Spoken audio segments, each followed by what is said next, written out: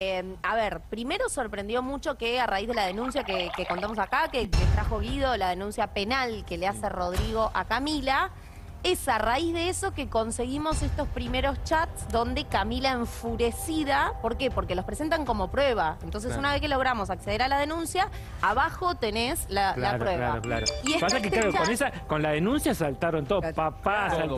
fue como tirar queroseno al fuego. Estaba involucrado Horacio también, que Sí. me decía, yo se lo consulté, me dice, fue en julio de 2021, ese audio, o sea, era un audio viejo, bueno.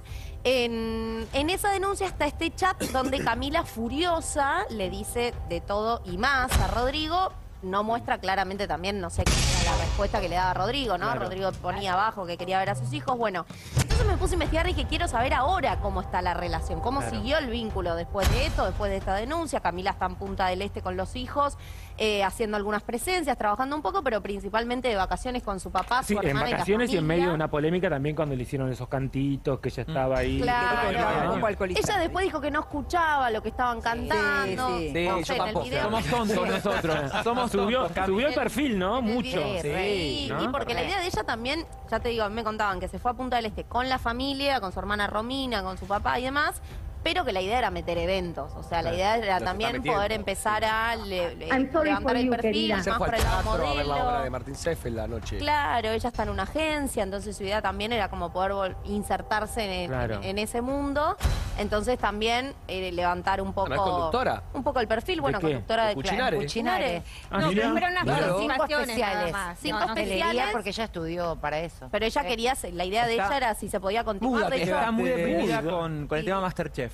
porque- Cuando se enteró que era una celebrity, vieron que ella quería estar en Masterchef, Sí. una tapa de caras para estar en Masterchef, se enteró que eran todos anónimos, le agarró. Pero la promo está hace, un montón que era Sí. anónimo. Sí. Pero bueno, tarde. No, los últimos dos, viste Bueno, pero que. después del anónimo vuelve el famoso. Tal a-. Bueno, pero ella la quería este año seguro. ser famosa. Claro, sí, Pero bueno. ya famosa es. Ya Bueno. es famosa. Sí, no, no no, quiere, talento. no quiere trabajar. Lo que pasa que se venía diciendo desde que iba a estar con Disney y una cosa, cosa Claro. que después nada No, sucedió. no sucedió. Incluso también hay algunos eventos, digámoslo también, digo, los eventos de Punta del Este que vemos las fotos y todo, cobra mucho dinero Zaira, cobra mucho dinero Pampita, pero después todas las que van también van a disfrutar ahí el evento, comer y, te- Y nada. No es que se le Por bajan ejemplo, me a dijeron que también Igual no necesitan plata. No. Quiero no, decir, no. ella para mí tendría que empezar a seleccionar más a dónde va. Sí. Ah. A eventos. Bueno, porque ahí eso no te iba a necesita decir. la plata, vos Claro. lo dijiste. Entonces, de a poco, porque yo la he visto en cada evento que decís. Sí, igual, una- ahí en Punta del Este yo sé que hubo una mano negra, dicen que, Sí. que la, Que la ha sacado, La baja. no, la ha sacado de algún lugar donde la querían convocar, sí.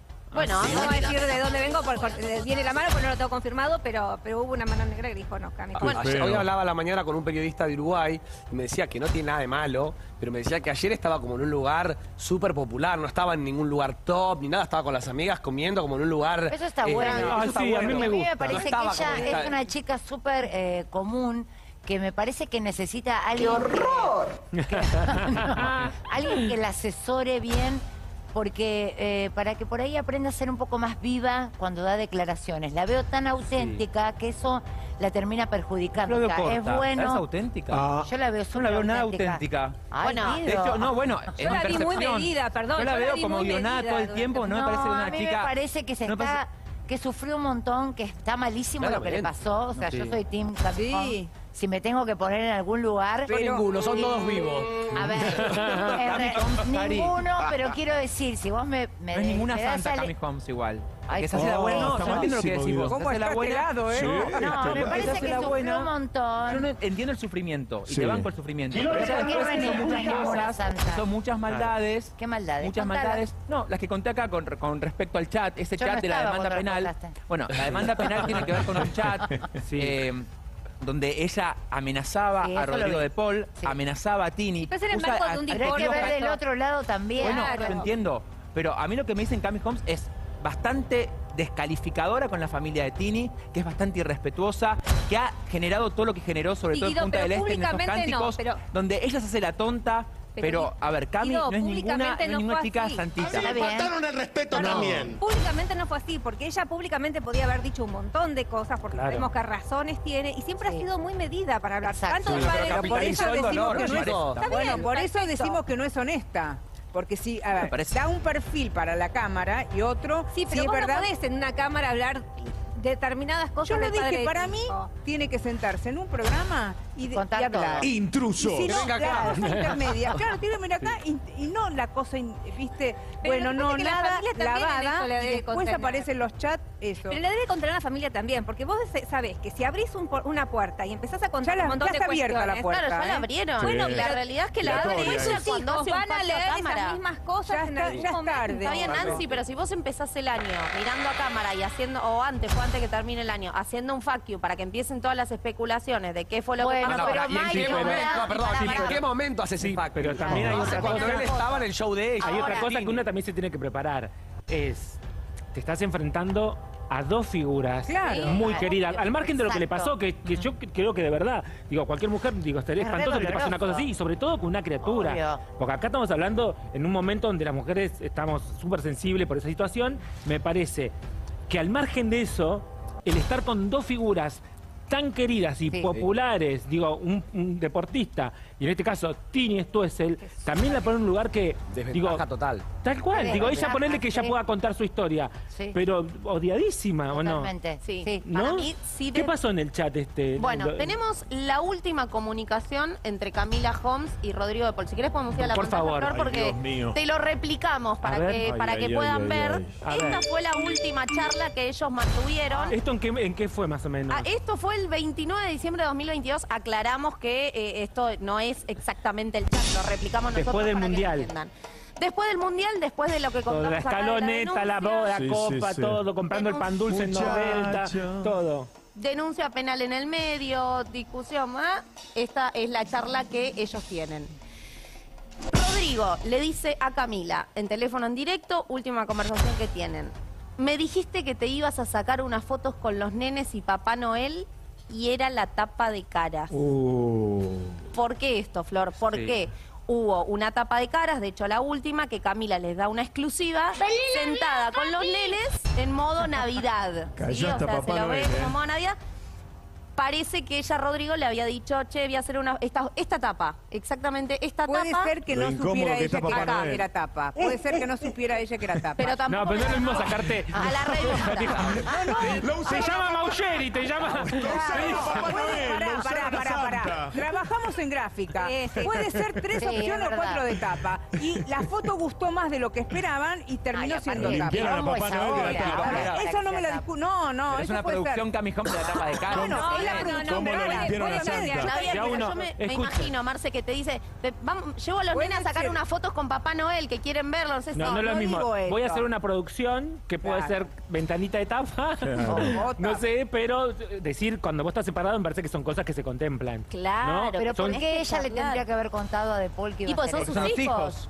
¿O no? Bueno. No sé, no tengo hijos, pero digo, No, nada. No, a sé, ver, bueno, eso por debería, igual. debería, pero yo no lo consultaba. Aparte la denuncia penal por esta tapa de caras, Rodrigo de Paul Tienen hace una más hijos cautelar, que una re- dientes. renueva una cautelar Sí. para resguardar la imagen de sus hijos, porque le molestó Pero si él, evidentemente él esto va con al, el chat. al- al show Al show de Tini y claro. sacó a la nena. Tal Es cual. Pero no, recordar. bueno, no, pero Marce, eso es una cosa que él está en un lugar público y le sacaron una foto a la No, pero nena. él subió, él, él le sacó subió. el Bueno, no, bueno, pero después... Bueno, lo Bueno, mismo entonces pasó, no lo podés mismo pasó protestar. con Cubero y con Nicole. Exacto. Lo Exacto. mismo, cuando hay Sí, pasa. discordia, con, cuando él, él- Sí, digo, no puedo no mostrarlo. pero nace el amor de otra pareja otra vez, cuando empieza, digo, se Obvio. arma la discordia, ¿se acuerdan lo que pasó? Totalmente. Digo, pasó lo mismo con, De hecho, con Mica en su ¿cuánto tiempo momento. tuvieron cautelar vigente Nicole y, y Tal Fabián? cual. Bueno, en este caso ahora pasó eso, Pasó plena- o eso. sea, le cagaron la Navidad.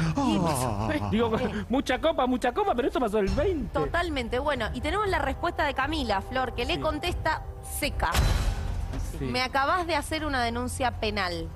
Sacala. Uy, uy, uy, uy, uy. Ahí terminó la conversación. Sí, es sí. mucho una, una denuncia Sí, penal a la ah, madre de sus hijos. Es mucho. Eso sí, lo sí. pensará él, esas decisiones, vos que estás tan cerca del entorno, decisiones que toma, ¿se le ocurren a Rodrigo de Paul o tiene gente que le dice dale, dale, dale? Para mí está mal. El tema, de la. El tema de la denuncia penal era algo que él no había evaluado y que no estaba dentro de su, de su radar ni pensaba hacerlo y que se termina detonando. Sí, eh, lo que pasa es que me parece que, que hay algo que, que- que sucede que no estarían, que esta gente no está pensando, que todo tiene consecuencias. Exacto. Cada una de las acciones que uno empieza a tomar, digo, desde, desde el dedo en la cámara, en adelante, porque vamos a sentarnos si querés y hablamos con la mesa.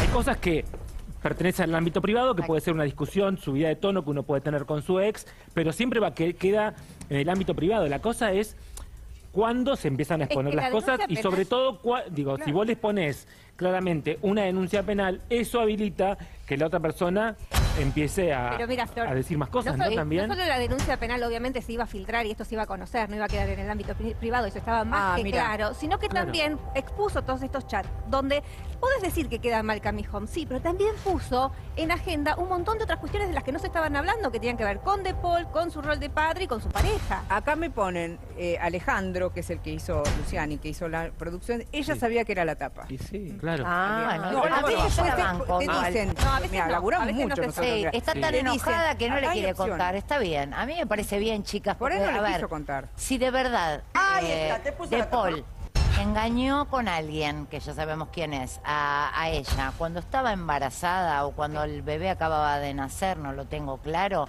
es espantoso. Bueno, ya pasó, ya pasó. Lo que sí creo es que él no está a la altura de las circunstancias. ¿Qué quiero decir? Ese día que él iba a ir a buscar a la nena, pero era tarde, decidió ir al show, él está como un pollerudo Oh. atrás de Tini, cuando que a mí me parece Bueno, que cuando eso, los es hijos son cosa. tan chiquititos, estoy hablando, lo estoy criticando a él. Sí entiendo, pero eso La prioridad tienen que ser los hijos. Te Bueno. enamoraste de otra, fantástico, maravilloso. Pero ninguno de no tiene en nada esto que yo, ver, pero que la yo estoy prioridad también son del lado de hijos. Camila, pero en esta ninguno de los dos piensa en los chicos. Pero ahí estamos de acuerdo, eso. Ninguno de los dos Como Nicole y, y- y Cuero. Lo Eh, a ver, cuando ponían a las el chicas de rehén en- entre las peleas de ellos dos. El detonante de la denuncia penal, cuando a mí me cuentan la denuncia penal, era las amenazas no eran de la semana anterior. Las amenazas eran del día 1 que Rodrigo oficialice su romance con Tini. En el Mundial también Rodrigo recibía amenazas. Bueno, el audio... en el Mundial le mandaba mensajes previo a partidos y lo que contamos... Pero todo, pero nada, ¿previo a los partidos? Sí, en el, previo a los partidos... Pero nada, pero nada que no se pueda manejar es un montón una denuncia penal. Sí, Sí, pero... es un montón. Lo que pasa parece es que... ¿Cómo volvés de eso? La madre sintieron que era, chicos? no, sintieron, me parece, por lo que yo fui preguntando y demás, que era como la manera de poner un límite. No, como decir, no. bueno, equivocaron. hasta acá, Lo que eh, hicieron fue acá va. equivocaron, Porque, claro. perdón, el audio que está diciendo Guido, el que se filtra de Horacio muy enojado, es de julio de Ese 2021. es otro audio, o sea, sí. fíjense si esto ya no venía. Lo que pasa es que nos él se olvidó de los años que estuvo diciendo con no. ella. Está Como bien, todo. Cari, pero Sí, antes es del como que él mundial de la nada nos hace una nueva vida y borra el pasado. Nos estamos olvidando que antes del No. mundial Camila amenazó con una denuncia penal que dejaba afuera a Rodrigo del mundial. No sé si se acuerdan de eso. Sí. No, pero le no. preguntaron a Chiquita. Pero, pero fue así, pero no. Fue así, Flor. Pero no Fue fue así. Pero Porque ellos lo negaron, porque ellos lo negaron después. Lo que se dijo en aquel momento No, es que los jugadores... en este programa Horacio aclarar que no, que se quede tranquilo, que no le vamos a hacer. Pero la amenaza estuvo y por eso terminan llegando a un tan buen acuerdo por económico. Es la verdad.